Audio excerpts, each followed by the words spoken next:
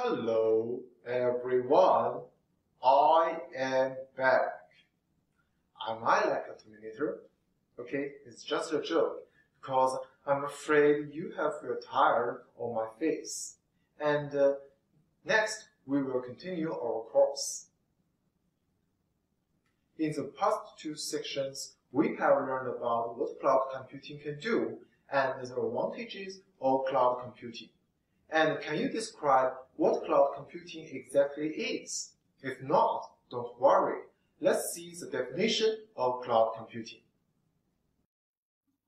Here, we use the definition of National Institute of Standards and Technology. In this definition, cloud computing is a model for enabling ubiquitous, inconvenient, on-demand network access to a shared pool of configurable computing resources that can be rapidly provisioned and released with minimal management effort or service provider interaction. The interaction between the workload of managing resources and the server provider is reduced to a minimum. In the definition, we can also see the advantages of cloud computing, such as convenience. Moreover, resources can be quickly provisioned and released, reflecting the characteristics of rapid and flexible cloud computing. Furthermore, the workload of managing resources and the interaction of service providers are reduced to a minimum.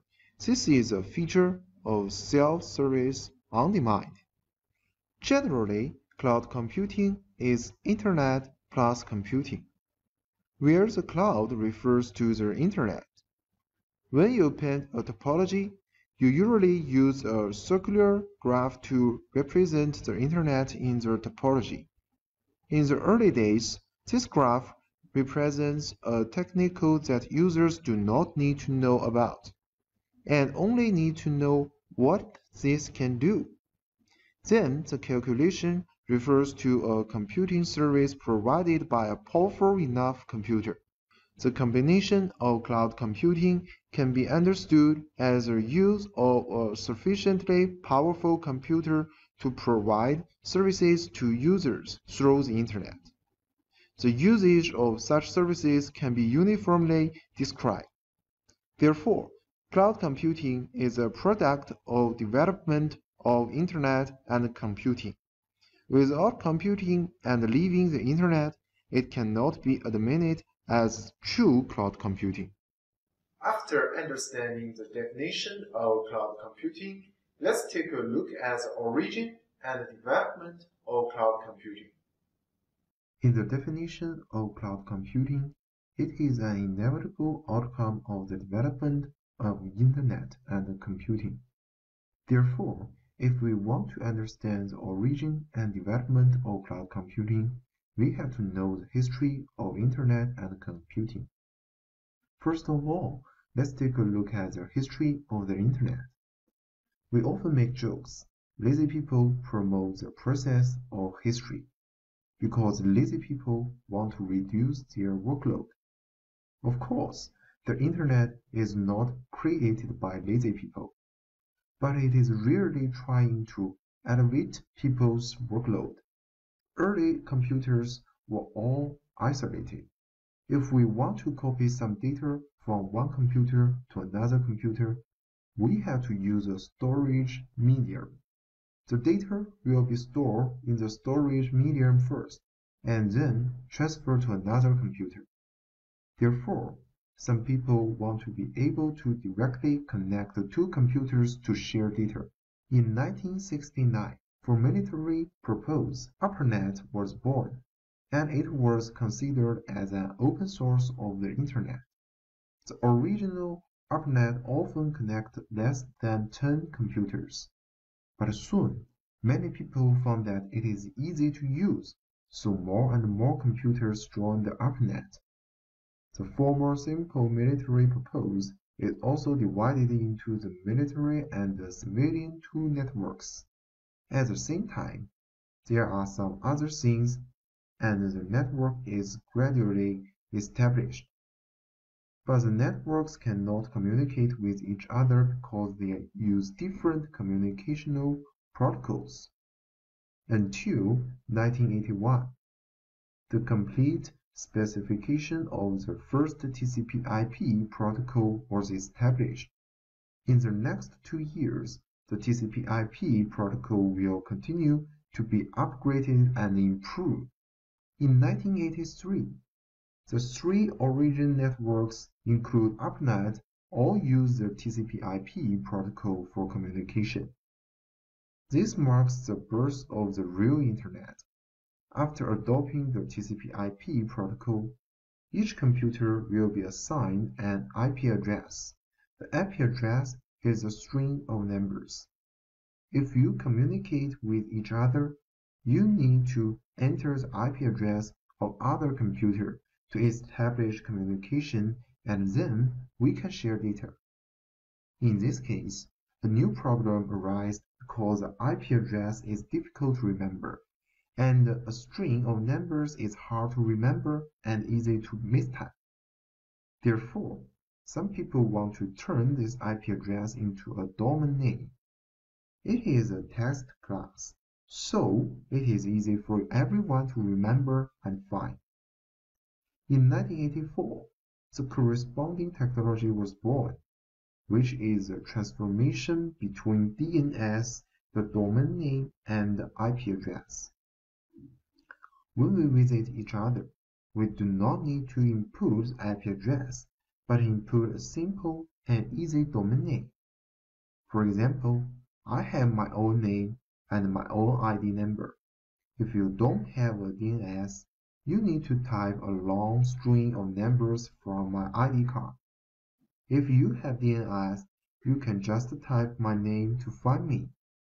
The emergence of Internet make it easier for humans to communicate with each other, and the DNS has made it even more convenient.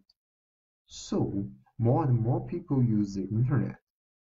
The first modern mail routing system was developed in 1986. The first commercial network operator was established in 1989, and the first web search engine appeared in 1990. In 1991, the World Wide Web, also known as WWW, was officially opened to public. I guess everyone, if you have ever used internet, you must know www. I can bet it for $1 billion. And today, we purchase the cloud computing and corresponding service through the interface of the web page. And in 1995, Amazon and eBay e-commerce was established. Why should we mention e-commerce?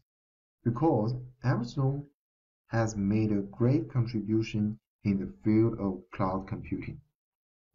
So far, Amazon shares of cloud computing is still ranked the top one in the world. The Black Friday in US, there will be a lot of shopping online traffic on that day. In order to cope with this huge traffic, Amazon has created a lot of data centers. But after Black Friday, this traffic will plummet, and the purchase of this hardware in the early days will be wasted. Therefore, Amazon developed a system through it Amazon can rent out the resource to others when the Black Friday pass. In fact, before Amazon, some people had tried cloud computing. The most famous one is president of Oracle. Oracle is doing the database, and Microsoft is doing the operating system.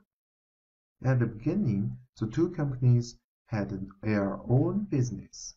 However, Microsoft has its own database, which is MySQL.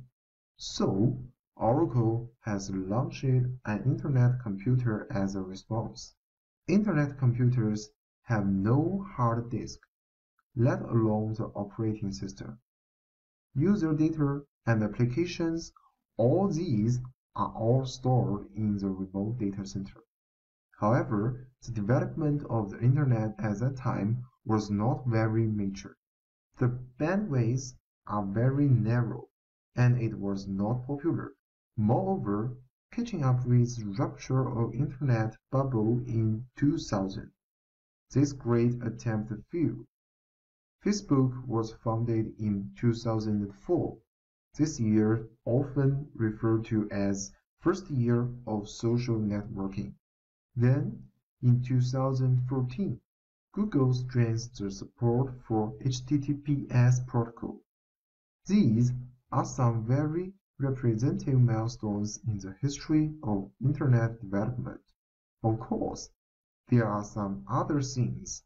We just briefly introduce the related part of cloud computing. Okay, everyone. All that is a brief history of the Internet. I just pick out some milestones in the history, and you didn't need to remember every detail of the history. But you have to know it, because this will help you to understand what is cloud computing and the cloud computing's development trend. Okay, in next video, I will introduce the brief history of computing. See you. Bye.